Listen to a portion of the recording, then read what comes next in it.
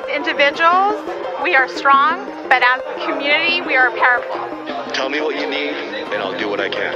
Who are we? MSI. Who are we? MSI. Who are we? MSI. Tres, dos, uno. Hola, hola familia. Welcome to Get Going with MSI. This is your host with the most, Alan Ruelas. I am super happy to be here because we have a superstar by the name of Brian Becerra. Yeah, so funny enough, uh, Brian Becerra, our brother, um, has been in high demand. You know, we've been promoting him for months and months. Um, but the only reason I say that is because we are eager to get to know you a little bit more. As you all know, um, the MSI podcast itself is for the purpose of our brothers and sisters to get to know who they are, to build the legacy for those who are coming up, and they want to get to know you, right, Brian? So the first question that I always like to establish is, how are you doing? Well, appreciate you for having me on today.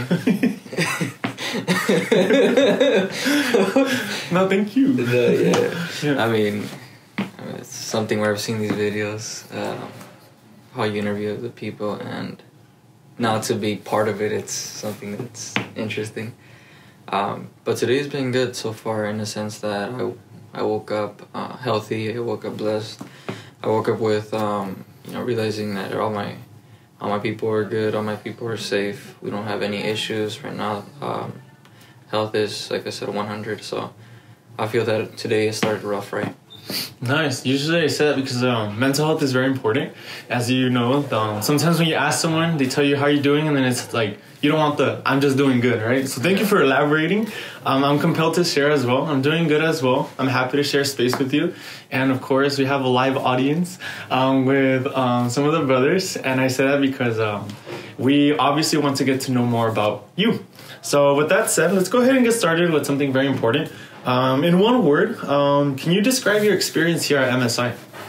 With one word, I would say appreciation. When I say appreciation, I say that because um, I'm very appreciative of all the people that I've got to meet here at the uh, in the brotherhood. People that I've been able to talk to, encounter with, um, see them to grow throughout their journey, as well as being able to help them throughout their journey. Seeing this program grow, and at the same time, how this program has made uh, me grow as a person, and the changes that it's done for me um, academically, but also in you know my personal life, and uh, I really appreciate the program.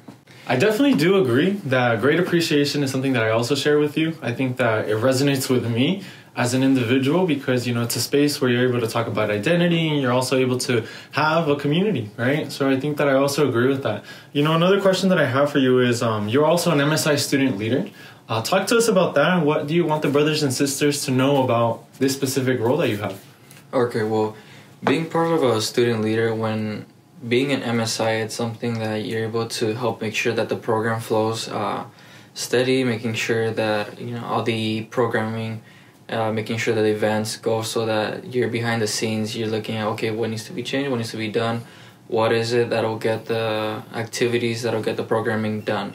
So um, you know, it's a different perspective before like when I would just go show up to an event um, compared to okay, now you're part of the event uh, you're putting time into it so it takes more value you know uh, more value uh, not only that but also you feel more connected to the program you're part of it. As you saw it grow like okay it came from a thought now it's actually uh, being produced. You, you're seeing that it's you know helping others and it's uh, it's it's a great feeling Yeah, I think that for all the brothers and sisters watching, I'm also a student leader. Uh, we assist with programming, right? What that looks like, uh, specifically more so for events and what we are able to tailor for our students. I know for a fact you've been here and you have seniority. And um, what's something funny that you have experienced here, at least with the staff, that you want to share? yeah something funny I would say Nothing's funny. no, it's just something that you know when you come to to the office. Sometimes it's not your traditional office where you walk in, you're assigned an activity, and you just stay um, and look focus on your activity. Just only looking at that. Okay, five hits, you clock out, you leave. No, you're interacting with uh, other leaders, and um, you know throughout the process, sometimes like little jokes throughout the day that'll carry you, and it's it makes the the work environment more pleasurable, more more uh, more safe for you, more comfortable. Yeah, I definitely, I definitely do agree with that as well. I think sharing space with you has been really cool. You have, um, at least I would say, a very honorable aura. What I mean about that is that whenever I feel like I'm talking to you, I feel like you really listen and you really take the time to understand the person from their lens and what specific experience they're going through. So, meaning, I often think about all the times you come in and you're always running to go to work right? And I share that sentiment too. We're always working, right? Yeah. We always need to get the bang for our buck. Um, you know, putting food on the table, making sure that we're you know crossing our T's, dotting our I's, because you know we have to keep working, right? As first generation, we'll talk about that later, right? Um, but what do you, Brian Becerra, you know, outside of work, outside of being studious, what do you do for fun? Um, things that I'd say that I do for fun would be mainly like when I'm able to uh, hang out with my friends, hang out with my uh, my girlfriend, my dog specifically, like being able to do things outside of the work environment, outside of school. You know, also things like, for example, going out to go camping is something that I really like to do. Uh, when you're able to um, uh, connect with the environments, being in a not in a city environment, you know, something where you could exclude yourself from other people, from other you know activities that are happening around you and you could just focus on you and the nature What's your dog's name again? bruno Bruno. I know that you have your like on live cam and you always check in on. yeah that's another thing too i'll be sometimes at work or i'm going to work or like throughout the day just checking the camera see what he's doing making sure he's good and most of the time he's just sleeping like a lazy No, I know Bruno. I got to meet Bruno, and Bruno is not like Bruno Mars, um, but no, he goes in and he's um he's very healthy, very strong, and my dogs they're just very clumsy. Um, kind of like their owner, um, so. I think outside of that, you know, it's interesting to know that you obviously have all these outlets of you know endeavors. Um, what is something that the MSI brothers or sisters might not know about you? What is something that they might not know about? Okay, well, um, I would say that there's a lot of things that I would like to do down in life, and when I say that, it's just right now I'm working my off to make what? sure that my Um, we'll, we'll keep yeah, that yeah. a bleep. I realized. um, no, yeah. So you know, I'm working a lot, trying to make sure that I set it uh, things up right for my family. But uh, in the process, something that I think that people don't know is just that um, in the process of making sure that I stay on top of my things and working, I would like to eventually open up businesses to be able to come back and give back to my community and help programs. Uh, similar to MSI, something where uh, I strive to one day be um, owning properties. And I mean, right now I don't have one, but I feel like down the line, I, if I'm able to get into that business, then I'll be able to, um, you know, make it grow and whatever I'm able to grow, also spread that love and bless others with it. Yeah, if I'm not if I'm not mistaken, also first and foremost, that's fabulous to hear, right? More kudos to you. Um, being first gen, is that something that you take into consideration when making these decisions? Yes, a lot of times I'm very doubtful in the way that I go about things because uh, I feel like I don't want to mess it up. Um, I am a first gen, meaning like I'm also the you know first one in my family to go to college, but I'm also the oldest. So I have two uh, little sisters that are looking up to me, seeing what am I doing, what is uh, what is Brian doing right now, what has he done, and all that. So I feel like um, I'm being a role model to them, but also as a first gen. Um, going back to being doubtful, making sure that I don't take the inappropriate steps uh, towards getting to um, certain pathways throughout my career, and also, you know, in life, I don't want to make a certain step that could affect me, could affect my family, could affect those around me, because I feel like I'm their first line of defense, Mm-hmm. and whatever happens, um, it through my actions would go down, trickle down to them. Okay. I mean, just hearing that for me, it sounds like a lot of pressure. Um, but I'm sure that a lot of us can relate to that. Even when we're having our MSI brother brother gathering, right? We talked about the pressures of pursuing higher education. So now this is like a double whammy. So I mean, what pressures do you have entering a space such as higher education, right? I want to get to know why you chose Cal State Fullerton, right? But also, what does it mean for you being in a like, for instance, in higher education? Well, yeah, well, being in higher education, one, it was, it was a choice that I made that I felt like I was walking into just with a blindfold. I didn't know what to expect. I didn't know how it was. Um, so also being the first one in higher education, coming to Fullerton, some a place that is close, not too far uh, from home. From where? From home. From what- what's is- home? Oh, okay, that's a Compton. He's from Compton. Yeah, so something that's not too far from home, but coming into higher education, it has put um, some sort of level of stress to my life and the way I go about things because it's a way that I need to make sure that I get on my classes straight, make sure I'm on the uh, career pro- uh, trajectory to make sure I get to where I'm supposed to be.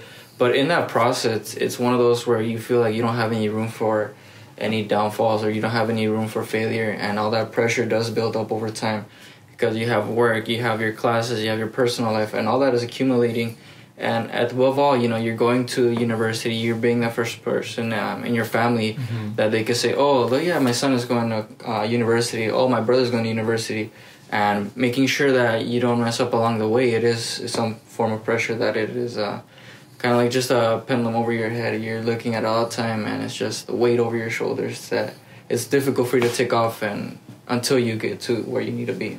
Nice. I often think about this because even when I'm at home, I would have those long conversations with my parents of what that looks like, right? And I'm very proud because I've said this before, just being in a space like this, um, taking time to be able to get to know you, but also knowing that if I'm not mistaken, you're graduating um, two semesters from now. Yes. Yes. So, you know, obviously I tip my hat in advance because I graduate next semester. Okay. Um, but I say that because in in retrospect, when we're having these conversations, it's like, what does it mean to be a man of color? What does it mean to be breaking barriers in higher education, right? What does it mean to be vulnerable and also acknowledging these high pressures that society builds, but more so even within our own family? And I say that because, you know, you are this um, taking the steps to build your future, right? Um, what is something that you are planning for yourself? Um, I guess you could say from here to five years, ten years. What what does Brian Becerra look like? Is he going to be, you know, a doctor? Is he going to be a physicist? Is he going to be, you know, a dad? Is he going to be a mechanic? What's what's what, what what's something you could share with us? Okay, five years. Uh, in five years, I see myself uh, being already in my career, being a physician assistant, as I feel by that point I'd be already graduated from PA school. Um, and at the same time, at that point, I would feel like I would be beginning my family um, of my own, probably my first kid. That's my goal. I'd already be married at that time. And then, you know, I feel like in five years, that's going to be very early into my career, in which from there I could then build on and be able to then advance to go back to universities, go back to my community, let them know how it is I got there, and help more to be where I would be at. Yeah, and then just for clarification purposes, I, I mean, we touched up a little bit on it, but can you talk to me about your major, if you have a minor, right? Um, you obviously talked about commuting and coming back and forth. Um, and then when you do so, I have a follow up question for that. Okay. Yeah, so my major is uh, public health. So what I did is initially, uh, during my time in high school, I did um, courses at my community college. So when I first came to Cal State Fullerton, I already came out Drewer with transferring 60 units, um, helping me cover my GEs. In which, after that point, for my freshman year, I've been focusing on doing other prerequisites for PA school.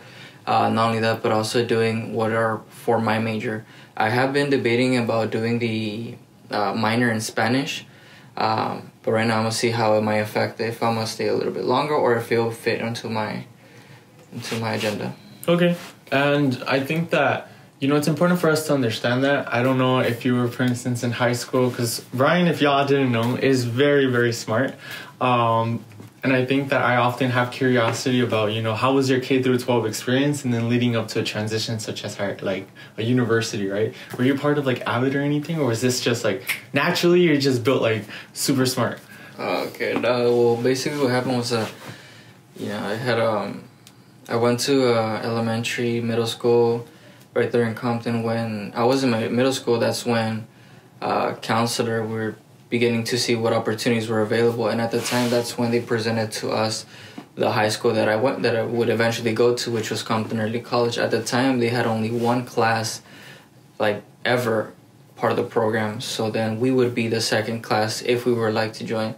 And when they offered in the high school at first, we I don't really pay much attention or care to it until my mom brought it up to me and she was explaining to me how it would give you uh, college classes to take while you're in high school, making sure that you're on career um, career ready, something that'll get you, you know, your foot in the door, so that when you get into university, um, you already have uh, already a couple steps ahead. And when my mom brought it up to me, then that's when I started to put more attention to it, see what it was about. As I saw that it's something that would make her proud, would something that she saw value in, and whatever she saw value in, that's where I started to pay more attention to it. Okay, let me see if she's telling me about this. It, you know, it could be for a good reason, and most definitely that's when I went to Compton College and did a couple of uh, uh, community college classes there, and most definitely helped me. Yeah, no, I think I missed out something very important, and I, it's like, hello, mother, hello, father. I met mom and dad, and hello, um, sister and sister. You know what I mean? It's always lovely to have that opportunity to, you know, get to know more of the individual, and obviously walk into someone's home, which is an honor. But I say that because, um, you know, it's important to hear that you take into consideration what your family's telling you to make these big decisions, right? It sounds like you're very proud of it too, and I think that's something to applaud. I'm like, Rudy, where's the applause? I'm like. Um, but outside of that, hermano, well, thank you so much for sharing. I think one of the other areas that I wanted to ask is everyone knows here that you are very passionate about automobiles, cars. Uh, talk to me about what's your favorite car, why are you into cars, and then most definitely, um, is there some type of maybe career path that you're looking also with um, automotive stuff? Okay. So basically, I was a senior in high school when I started, when I bought my own truck. Um, it's something that made me really proud. You know, I did a lot of hours. I did a lot of, uh, a lot of time that I dedicated to try to get my own 1st vehicle, and it's something that it wasn't handed to me. I had to, I had to work for my first truck, and the moment that I did get my truck, it's something that I just fell in love with it again. You know, when I was younger, um, I used to go to a lot of car shows. I used to see drag races a lot, um, as my pops would take me. And when I got my truck, it just it just gave me nostalgia back then how things were. So then I started getting into it. And at the time, that's when I had a I um, I met a neighbor that he was also into cars and he was just always working on his. So I figured, oh, let me give it a shot. Let me try to hang out with him a bit. Mm. And then uh, from there, I saw him how he was doing uh, a lot of the mechanic himself and all that. He had all the tools and really caught, sparked my interest. So then from there, I started doing little things at a time. Okay, let me try to change the battery myself. Let me do an oil change. Let me change the intake. Until um, leading up to now, like even doing transmission swaps, motor swaps, and it's just something that every time I begin to work on a car, I just completely forget about everything that's going on around me and just focus on the machines, on how they operate, uh, see what I could do to make sure they're running right. Would you say it's like something therapeutic for you? In a way, yeah. Okay. It's, it's pretty nice, you know, like Mhm.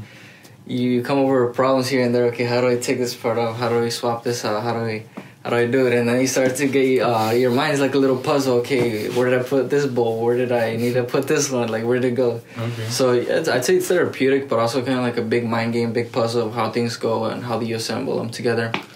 I'm glad you like that. I don't like that. Yeah, I like more of like the creative lens, but more so this is about you. And so I'm glad to know because sometimes I do have issues with my car and I'm like, hey Brian, what's up? Like um, maybe you can understand this because I don't understand it, right? Um, but I think that, you know, it's good to hear that you have outlets of like how you take care of yourself, right? So beside uh, before we jump into like how you take care of yourself, um, I want to get to know more a little bit of that about that. Um, what's your favorite car? Or what's your favorite truck? Like, what's the car that you that's your car? I mean, I feel like down the line, uh, right now one of my favorite cars is actually one of the ones that I'm working on right now, which is a 1955 Cadillac. Okay, It's a very old car that, um, the Yeah. Yeah, I've already have uh, like about two, three years working on it, Mhm. and it's just. Uh, I, got it by an ex boss that he let me car let me have the car for free, and it was just run down, a lot of rust, a lot of holes, a lot of uh, need to help bodywork mechanically and all that. So I feel that once I'm done with that car, I'll be able to That's take your it car. down, Whittier, cruise it. Mm, okay, okay. And- I'm all for that, y'all. And then once I do have money, I feel like a GTR would be nice. A. GTR. Okay, you you have a vision. I'm good with my Honda Civic, right, Ethan? I got you. I got you. So self care. So transitioning obviously to another topic. Um, how does Brian Becerra take care of himself? Um, specifically, more so, you said like maybe having you know your personal time with automobiles and fixing them. What else do you do? Um, how do you take care of yourself? And when you do answer this, just think about all the brothers and sisters listening. Maybe they could take some notes as to what works for you might work for you, and maybe they might like it. Maybe they want to do something similar. Gotcha. Yeah, I mean, another thing that I do to take care of myself is sometimes just stop to see what's going on around me. You know, everybody's going a thousand miles an hour. They have a lot of things going on in their life. You know, um, outside of work, outside of their academia, out and the personal. There's a lot of things always just constantly changing, and sometimes just taking a stop to you know check yourself, making sure that everything's good. Think about what problems you have or what are you, what do you have at hand. Uh, but at the same time, look, changing your perspective and uh, okay, you know, I have this problem, but at least I have this or I have that. Like you could be arguing with a family member, but just be like grateful that you still have them. And then, uh, you know, it's one of those things that I started to reflect and think about as I go walk my dog at the park. You know, just in the night, it's just you know you're able to get some of that cold, fresh air.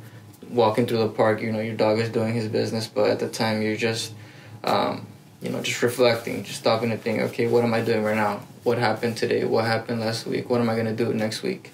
Just start to think about what's going on, and then just de-escalate, you know, all the things that are going inside your mind, and just try to take things one step at a time. Mm-hmm. Definitely. Yeah. No. Do you also, by any chance, do you um, exercise? Every once in a while, I try to, but yeah, it's just something I choose between. Oh, do I go to sleep or do I exercise? Uh, if I can, I'll do incorporate them throughout the day, little by little. Okay, yeah, those are two tangible um, outlets alongside the other one you provided. Uh, as a reminder, y'all, we have caps. Um, uh, specifically, Aaliyah song. I always say that word funny, but at the end of the day, it's a resource for y'all. Um, direct um, psychological um, resources. But outside of that, do you have any questions for me, Brian? Think about it. Think about it, because there's a time, and I'm only gonna you like 30 seconds. I mean, I'd say is uh, what advice do you have for other people um, in when they're facing issues, when they're facing, I mean, different things that are going on throughout their life? What would you recommend, or Mhm. what do you advice do you have for them to um, not worry or you know face those issues in a different mind or in a clouded mind?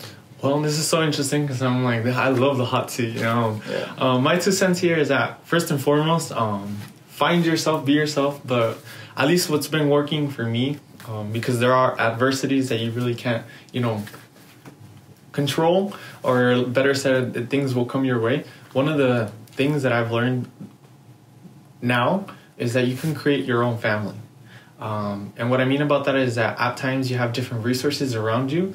Um, you have your blood, your bloodline, of course, and they are stellar, whatever that looks like for you individually. But you also have your friends, your homies, um, in the uh, mentors, right? You have people who are caring for you. You just have to ask or know how to ask for help, right? Yeah. So I think that's something that at least I take with me because I've learned that specifically fall 2023 on something new to me, right? Another avenue that I think that is um kind of filtering your emotions to be able to be as vulnerable as you can, but at the same time be as articulate with what you feel. So again, something I've only got to learn more so now. I talk all day, but that doesn't mean I'm saying a lot, right? Um, my two cents is that words have impact, but more so how you talk to yourself, but also if you have the availability to then see it, sit down, like you said, and really try to understand what it is that you need, right? Rather than what the expectations are around you. Um, because if you're able to understand yourself and then ask for it, and then um, go about your day to day, it makes more, at least in my opinion, and what I've been able to do, makes more sense, right? So to answer your question, those are two areas of advice, and then at least to put the cherry on top, right, is to have fun. I think that oftentimes we're so caught up with everything that's like this and this and this and this and this and this. I have had um, a lot to balance, but at the same time, it's something that I've already been prepared for. It's something that I'm ready to deliver. But at the same time, it's kind of like because we're, I mean, I'll put, I have to say this for me. I'm a workaholic by nature. I also have to also put the same amount of time to have fun. So those are three points. Does that answer your question? Yeah. Okay, okay, I got you. Yeah, especially I get the workaholic part. 'cause, man, like I, I do work a lot of hours throughout the week, and I also have uh, my classes, and you know, It's a lot. It's it's a lot. It, Yeah. it adds up. Yeah. At the end of the week, you feel oh, let me catch this day to de-stress, but you don't have a day. You have a moment. You have a gap of time. Yeah, you have like a you have a fresh breath of cold air. Exactly. well, any, uh, with that said, Brandon, uh, Brandon is there. with that guy. said, we don't want to do you dirty like that. with that said, Brian, um, thank you so much for taking the time to talk to us. I really do mean it. You're gonna do amazing things. Um, not only do I see a lot in you, but also the mentors and all the brothers and sisters here. Um, they obviously listen and they take care of you. So whatever you need from MSI, this is your casa. And I think that that just goes to show how much appreciation we have for our MSI students, our, our MSI student leaders, and then our MSI team, right? So um, with that said, thank you so much. And um, do you have anything to tell us or anything you want to share? Last points? I'd say uh, I appreciate you. Um, I mean, this this interview has also made me think about a couple things that I don't know, I haven't stopped to think about for a while. I was like, hold on, wait, what? no, I'd say uh, thank you for having me. It's been a pleasure. No, I thank you. Nah, shout out to mom and dad. but um, outside of that, yeah, uh, we'll see y'all for the next episode. Stay safe and enjoy fall break, y'all. Adios.